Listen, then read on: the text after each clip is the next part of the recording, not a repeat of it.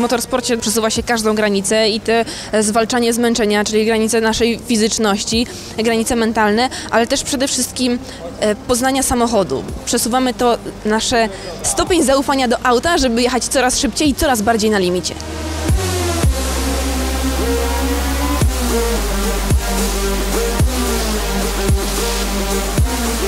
Warto czasami marzyć e, i robić wszystko, żeby te marzenia się spełniały.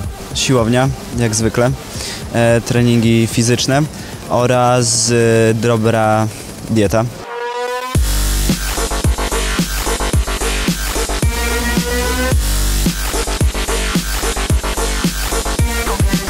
Budowałem Opla GT, który e, na pierwszych zawodach wszyscy uważali oczywiście, że tym się nie da jeździć. Czas pokazał, że jednak auto jest bardzo rozwojowe i drzemie w nim olbrzymi potencjał. Zimą staram chodzić się na basen, robić jakieś ćwiczenia takie kondycyjne. No i wiadomo też e, dużo czasu poświęcam przygotowaniu motocykli.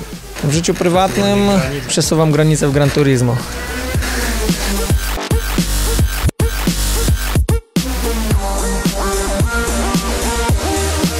Granice generalnie przekraczamy bardzo często, jeśli chodzi o wytrzymałość materiałów. Jeśli chodzi o opony, o trakcję, często jest tak, że przeginamy i coś się dzieje. Często ten sport, ten samochód e, wymaga dużo pracy, dużo godzin. No i te granice tak, wiesz, balansujemy pomiędzy czasem przy aucie i czasem w domu.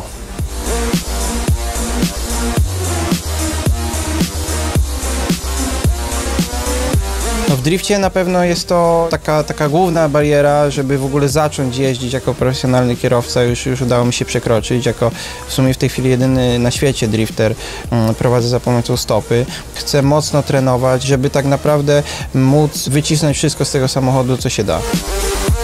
To jest tak, że to bardzo zależy chyba od zawodnika, tak? Każdy sobie określa jakieś bariery, które chciałby przekroczyć. Ja sobie chyba na każdym rajdzie definiuję te cele troszkę inaczej, tak? Na niektórych rajdach y, najważniejsza jest, najważniejszy jest tor jazdy, a na innych z kolei kondycja, wytrzymałość, bo są to po prostu rajdy bardzo ciężkie fizycznie.